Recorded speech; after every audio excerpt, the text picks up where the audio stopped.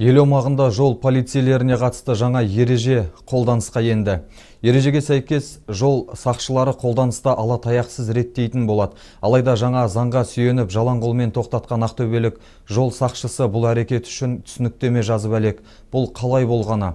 Демек, жол жиегіндегі сақшылар қолын оңды солды бейберекет қозғалыспен емес, белгілі бір жағдайда ғана тоқтатады. Жаңа заңның жай жапсары мен жамбылдықтардың пікірін Дина Али біліп қайтты.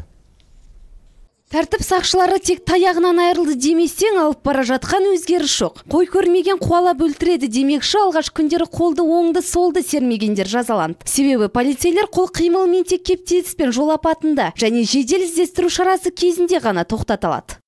көлік құралдарын тоқтату тек э, арнайы патрульдік автокөліктерге орнатылған э, дауыс зорайтқыш құрылғылармен және э, дыбыс жарық сигналдармен бірлесіп сондай ақ қолдың белгісімен көлік құралына көрсету арқылы және ысқырықпен бірлесіп тоқтату күшіне еніп отыр Аталмыш мәселе әлеуметтік желілерде де жаппай талқыға салынуда. Жол сақшылары құдды бір көлік тоқтатып тұрғандай көрінеді дейді. Бұқараның пікірінше бұл боранды күндері мен түнде түсінбеушілік тудыруы мүмкін. А былай күндіз автопатрулирование дұрыс ол. Ал бұрыш бұрыштан гөрі тұрып қолменен кейбірде керек па керек емес па тоқтата береді. Ұнамайды жезлді шығарғаны лучше бірден жаңағы анау штраф бар ма соны бірден көрсетіп сол кезде тоқтатсын. Әр мемлекеттің өзінің заңы бар ғой. Еуропадан үлгі алудың қажеті жоқ мысалы. Түнгі уақыттарда мысалы жезлмен тоқтатса қолындағы несімен тоқтата алмайды. Қолмен не көрсетеді ол? Нені түсіндіріп айтады?